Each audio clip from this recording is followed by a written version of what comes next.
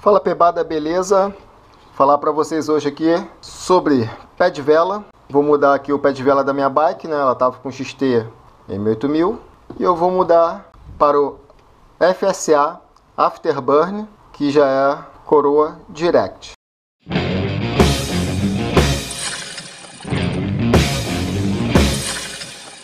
Podemos notar já a diferença aqui do padrão Holotech 2, que o eixo ele é unificado no pé de vela da coroa e o FSA, o eixo, ele é unificado do outro lado do pé de vela.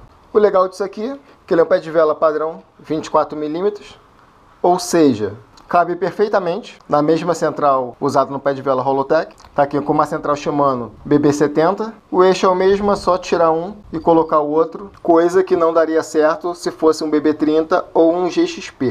Ele vem com um espaçadorzinho também que pode ser usado no eixo. Não vou usar ele, vou explicar porquê. Uma coisa que pode confundir na hora da compra é o tamanho do eixo que você vê que o Holotech ele tem um eixo maior do que o eixo da FSA, sendo que no Holotech o pé de vela entra bem mais no eixo, como podem ver aqui, tá vendo? Uma coisa legal é que ele já vem com sistema de encaixe desses padrões mais novos, né, que, que o parafuso ele também já funciona como o extrator do pé de vela. Eu vou afrouxar aqui a partir do momento que eu começo a afrouxar, como podem ver lá, ó, o pé de vela já começa a sair.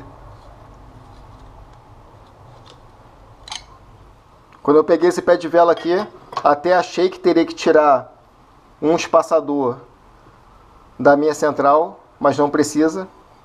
Então, como aqui em casa eu tenho bastante espaçadores sobrando, eu vou substituir esse aqui do eixo e vou colocar mais um espaçador do da central, que são esses espaçadorzinhos aqui de 2 milímetros.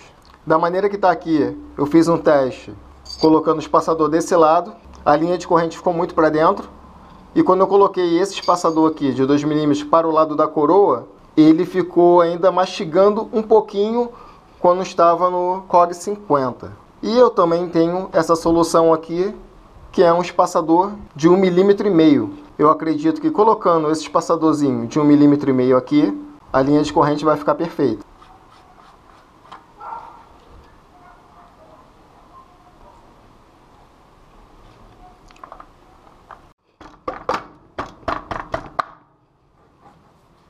Colocar a coroa aqui agora. Encaixa ela na pontinha, chavear em 10. Rosca normal.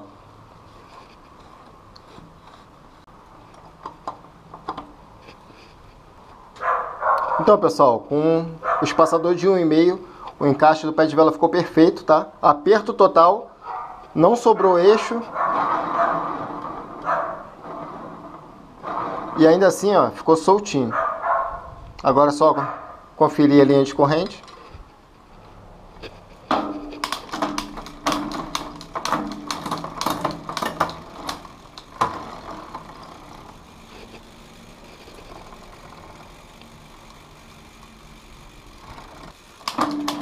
conferir a corrente aqui no sexto cog, bem reta no 6. Então aqui finalizou, só colocar os pedais. Ela está com a coroa 32, mais tarde vou mudar para uma 34. A grande vantagem de usar a coroa direct são nos quadros que a central é press-fit, ou seja, que a central é encaixada no quadro e não de rosca. Porque a central de rosca a gente pode brincar com os passadores, que é o caso que eu fiz aqui agora, e colocar a linha de corrente exatamente onde eu quero.